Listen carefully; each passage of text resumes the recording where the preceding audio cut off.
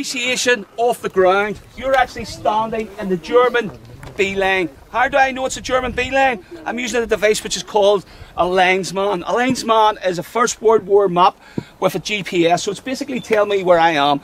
I'm literally not that far away from the German B lane. Do you see that cemetery in front of me there? That is Mill Road Cemetery. That was the German A lane. The German A lane all goes in a half circle towards. That's the best way to describe it. Half circle. So this B lane would go half circle all the way to Thiepval, all the way down. Again, from the cemetery, it's a half circle. That's the best way to describe it.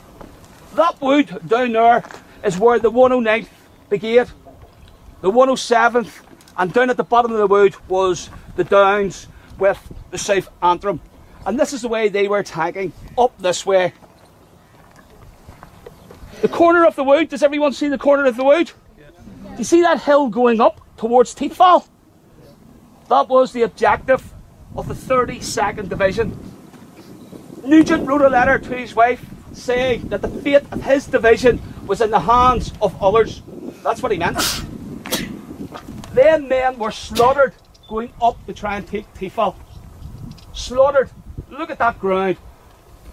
These all any ex-soldiers. Boys and girls, any ex-soldiers? Look at that. Going up, attacking up the way.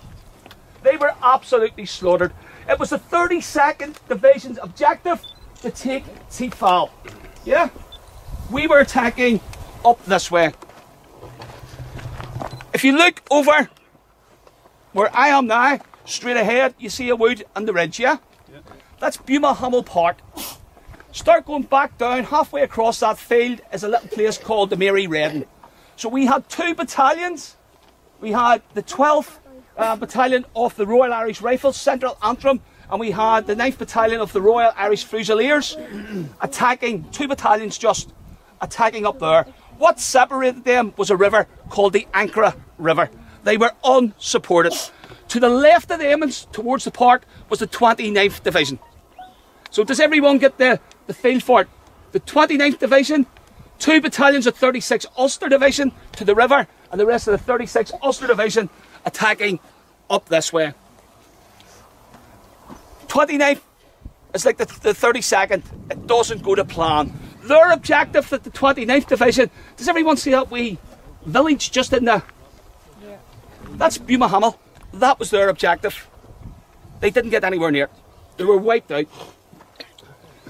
On the left hand side, you can actually still see the scar marks, can you? Look at that field of the war. The two battalions of the 12th, Central Antrim, and the Armagh attack three times unsuccessful. There's only limited gaps in the wire. The Germans have all machine guns on them gaps. Two Victoria Crosses are going to be won at that side of the Ancre for the 36th Ulster Division. And guess what it's for? Bringing in wounded soldiers. However, you can't see it from here, but at the tip of the hill, there's a little village called St Pierre Divion. And that was the objective for the 13th Battalion, the County Downs. However, as they start their attack, the machine gun posts haven't been took out, and they start to come. It's like anything, if you're starting to get hit in your left hand side, you're going to start having to come across, and they come up more and more in. So, what you find is the 108th and the 109th Brigade are all mixed up. Thiepval is, is not taken. So, what does the German machine gunners do? They turn round, yeah? What do you think the machine gunners do? Switch round. So when the 36th Ulster Division are moving forward, they're getting it from the left hand flank, they're getting it from the right hand flank, and they're fighting their enemy that's in front of them. Think of a trench. A trench is well defended looking out this way. But if you get in a trench and you look that way, you're very, very much exposed. People don't realise as well that the Schwaben Redoubt is a series of tunnels underneath the ground. And what it does, there's actually a tunnel that leads all the way to the Ulster Tower. If anyone's been to Mill Road, You'll actually see a lot of the headstones are flat down. That's because the ground is unstable. There's a series of tunnels. Who do you think was in the tunnels? The Germans. So the Germans were then coming through the tunnels, coming up, and we had Germans at the back of us as well. The corner of the wood, all the way down, is where the Ulster Division attacked. If we turn round, This is the B line. And if you're there, you can see what's going on, no problem. But see, if you look at that crest of hill, you start to get down in the dead ground. And what we mean by dead ground is from there, you're unable to see what happens. And that's where the 36th Ulster Division heavily rely on runners. And what we had to do was to send our men to send information back and forth. The Germans bombard no man's land. Why do you think that's for? So we can't send any troops or ammunition up to our men. By the time we get to, there's going to be a massive, massive blunder. Nugent looks about. He's gone. that attacks. Look at that. That's a massacre just there. And then what he does, he makes a call to the Corps commander. Now bear in mind, we're part of the 4th Army. Tells General Morland, don't send the 107th out. Don't send them. We're making gains, but both flanks are exposed. Morland overrules him. Send the boys out. So the Belfast Brigade are ordered to come up and support the 109th and the two battalions of the 108th in this sector. As soon as they go over the top, Nugent receives a phone call from the field telephone. It's General Morland. You're right, don't send them. It's too late. The boys are in the attack. And we get beyond there, there's a little village, you can't see it, but that's the village of Grandcourt, just over at the other side of the hill. And that's the D line. And we consolidate our position. The Germans are bringing up um, reinforcements and they're pushing us back. They're attacking us and they're pushing us back. So we have to give up the D line and we consolidate on the C line. It's getting too much for us. We then retreat to the B line. Then it's getting too much for us. We retreat down to the A line. And at the cover of darkness, the lucky men that's still alive make their way back to the start point of that attack. However, the next day, the 107th is in charge of the wood at Thiepval Wood, and the brigadier looks out, and it's actually Colonel Crozier, who's the commanding officer of the 9th West Belfast Royal Irish Rifles, and what they see is a small section of trench, still manned with soldiers. And what he does is sends out 360 soldiers to reinforce that, and it's a 107th Brigade. So on the 2nd of July, the boys go up and over the top. The last battalion out is the 15th Battalion. So the other three battalions get their men into the trench, no problem. The Germans see them, and the 15th Battalion suffer 50% casualties.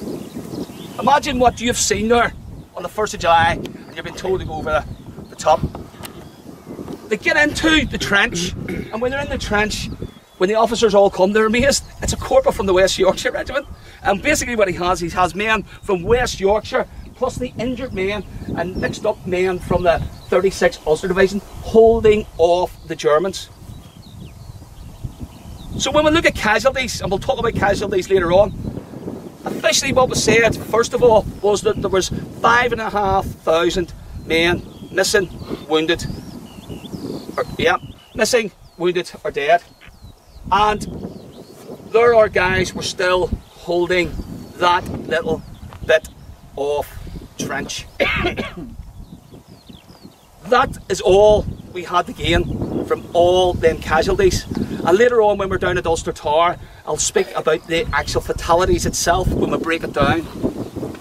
I said to people earlier on here, Thiepval Memorial stands in testament to the sacrifice especially for the 36 Ulster Division, because statistically, between 72% and 76% of the men that fell on this battlefield have no known grave. Have no known grave. They're commemorated on Thiepval Memorial to the missing. We're probably standing under the remains of soldiers. There's still a lot of soldiers out there, especially from the 36 Ulster Division, that have to be um, who will be known, hopefully, and identified one day. This is the battlefield. And that's what I said to the guys that's on my boss.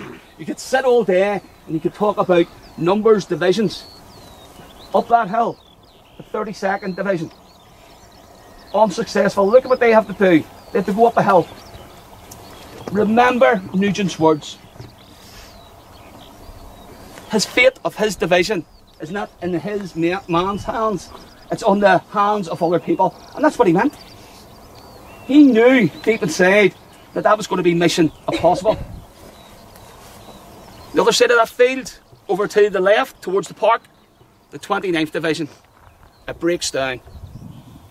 And that's what happens to the fate of the 36 Ulster Division. They're getting it from behind, they're getting it from both flanks, and they're getting it in front of thing. These men were thirsty, running out of ammunition, and they were actually taking. It was very, very hard for us to try and bring reinforcements because the Germans, as I said earlier on, were bombarding no man's land. Them guys, there's stories in this battlefield that will never, ever be told because it went to the grave. Think of the heroic stories that some of these men endured, and no one survived to let us know. And this is when we look at the likes of this battlefield. It is very, very important to visit it. And I hope everyone's got a better appreciation of the battlefield. You've seen it for your own eyes. We're going to talk about Victoria Cross recipients later, and another two will be one um, in this sector. One in the wood, which is Rifleman William McFadzean, and we'll talk about um, Captain Bell as well later on. So I hope you've enjoyed it. Just where Ulster Tower is, that's the A line, so that gives you a bit of appreciation there. What size do you think that is? Where's the farmers? Where's all the farmers? Meter anyway. so you think that all wasn't there? You think what you could have seen, the Germans would have seen? And what the Ulster Division do as well, we sneak out into Sunken Lane before the attack and we basically run towards the German lines. That's going to be the downfall because everything's on a time for the artillery coming down and a lot of our men are killed by our own artillery, especially the Derrys. The Derrys were the they went off that couple of split seconds before everyone else. But we achieved the unachievable. You think about it. We reached all our objectives against all odds. And it would be wrong to turn around and say the men of the 29th and the 32nd Division did wrong. It was a mission impossible for them. However, the 36th Ulster Division did have a very successful attack, but it was never ever going to be successful when an inner flank the attack broke down. So I hope you have appreciated that there. It's a up on the ground, looking onto it. And it's one of the things when I started um, doing the tours that I wanted to explain the battle because you could sit all day in the mic on the, the bus and you could talk about it, but seeing it for your eyes, it gives you a bit more appreciation um, for the battle. Is there any questions? Well, that's us finished. We're going to go down and start the parade. We're actually going to start the parade that the track that leads up to that wee cemetery, which is um, leads on to Sunken um, Lane. We're here also to commemorate a local man for being a, it's Private Henry. What's his surname? Rainey. Rainey, yep. And this is the battlefield that he would have been attacking. This is so. This is where he would have died. And you think of the wee village, there's, there's, it's a real, real small. I know David's trying to get a wee plaque up and stuff. So we're going to go down and we're going to pay homage and tribute to Private Rainey. And especially for that wee town. And across the province of Ulster, there was telegrams going about of the dead. The Orange Order lads will know that such was the news, the shock and the tragedy. The 12th of July was cancelled due to the fact of the loss. And this is going to be the first battle honour that the 36th Ulster Division will receive. It's going to be called the Battle of Albert, or what you can have is Somme 1916. So if you look at the, the battle honours, if you see Somme 1916 or the Battle of Albert, you'll know that you've been on the battlefield. No questions? That's us then. We'll head back to the buses. Take us into the German A lane. And then the best way to appreciate this is probably looking when we go down over to the left hand side.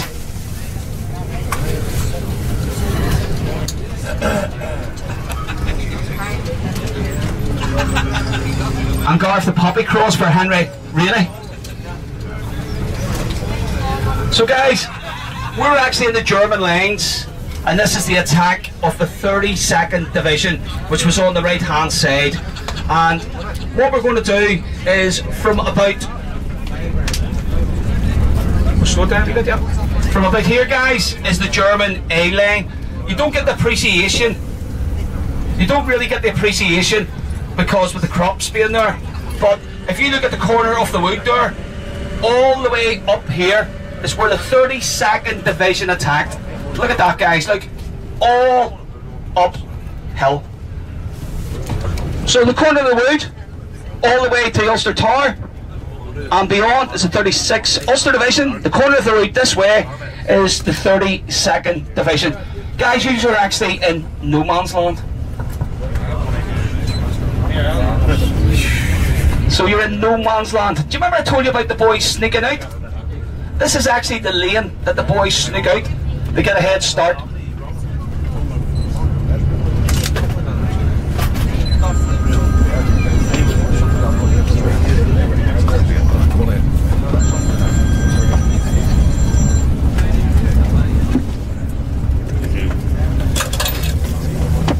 And now we're in to no man's land in the 36th Ulster Division. Do you remember I was telling you about the soldiers that was found? I'm actually going to point out where the soldiers were actually found, and it was right in this road that they found it. Just to the corner there was where Sergeant Blakely was found. And just on down here on the right hand side, I'll show you, is where the unknown Royal Irish Rifles soldier was found, and that's Connaught Cemetery. And the best way to appreciate the land here is Connaught is on your left, Mountain Road is on your right. All the way, if you walk up that lane where we're going to parade, that is no man's land, yeah? So you're right in no man's land. What do you mean by bag no moved? Oh no, no. So guys, please listen to me here, please. Um, we're not going to go in the Ulster Tower the ones that's doing parade, we need to get, we're going to have time afterwards because we'll have to make up for time. We're going to head in straight for the parade.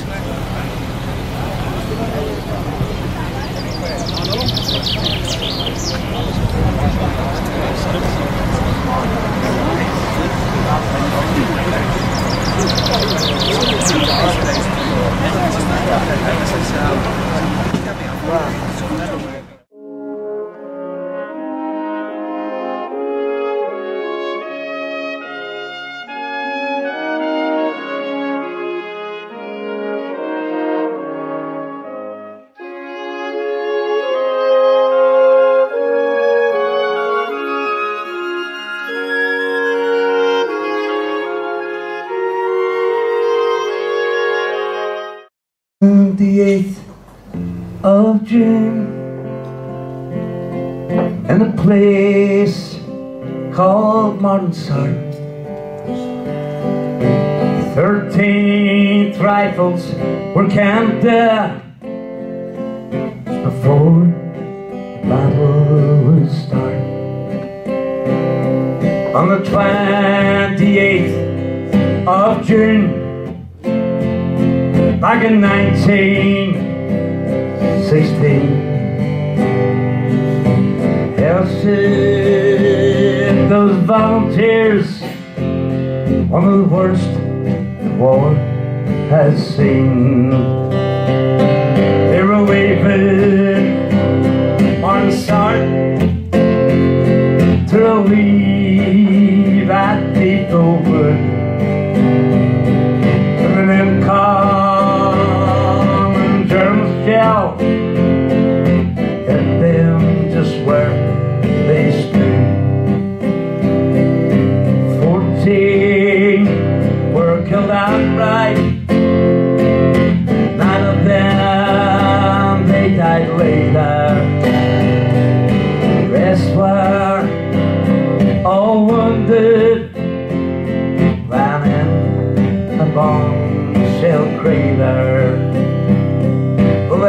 headstones up at Martinsart. They're made from coarse hell red. Those 23 volunteers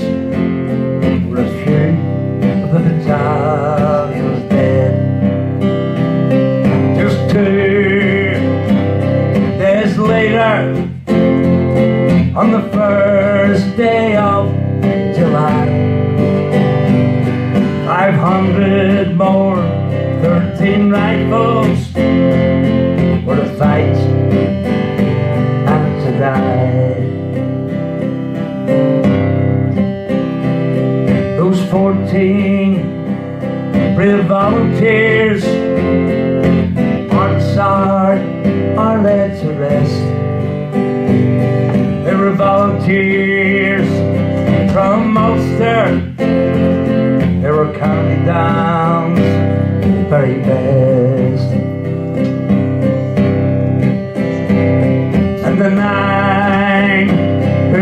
Later in cemeteries elsewhere. But Mornsart, a memorial, 23 are all named there. Now they're all back together. Mornsart, once again. Those volunteers, each one by their name.